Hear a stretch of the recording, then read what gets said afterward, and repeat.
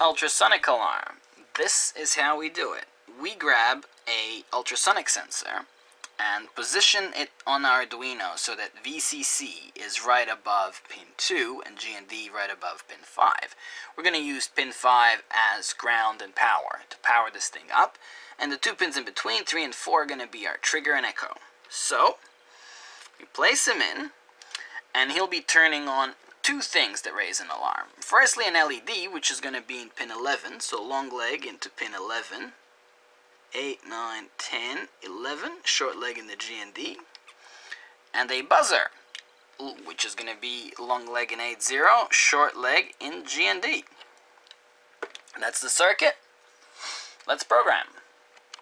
So let's have a look at the code. Um, as I said, the LED is in pin 11, the buzzer is in pin 0. Um, this is our arrangement of our ultrasonic sensor into the pins 2, 3, 4, and 5 right here is the um, sound wave being sent out and the count for how long it takes for that to come back. And this gets processed into the calculation for how many centimeters um, the furthest object, or the closest object actually is.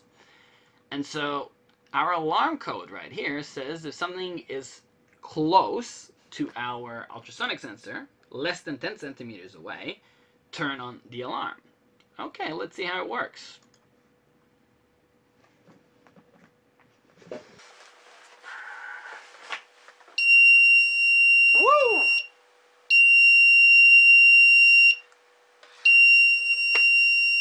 works just fine.